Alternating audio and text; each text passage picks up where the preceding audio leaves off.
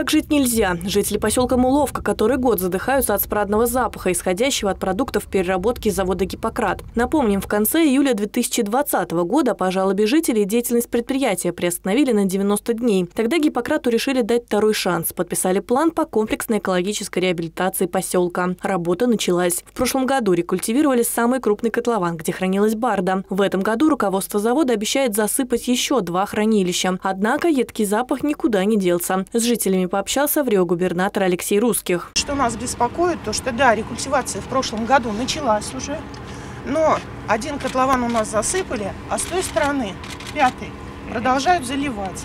То есть э, ежедневно и лососы сливают отходы производства.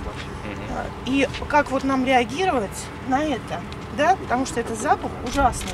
По словам жителей, земля изначально бралась под посадку растений, которые должны были использоваться для производства препаратов. Но вместо полей здесь самовольно вырыли 12-метровые котлованы, которые не предназначены для хранения жидких препаратов. Как итог, все вредные вещества отравляют воздух, почву и воду. Об этом свидетельствуют результаты проб. Последние, по информации Минприроды, брали три недели назад. Они показали превышение нормы по нефтепродуктам. По данному факту уже возбуждено административное дело, проводится проверка. Самарская область по инициативе Минприроды мы вышли вышли с иском о возмещении ущерба природы красотки на 239 миллионов. Сейчас мы в процессе и заявляю и говорила об этом жителям, что на мировые соглашения мы не идем, мы идем, судимся до окончательного решения суда.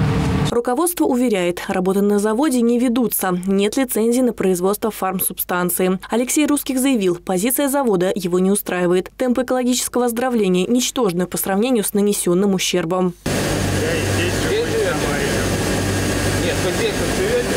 Вот. Здесь живу, и вы дышите здесь, да?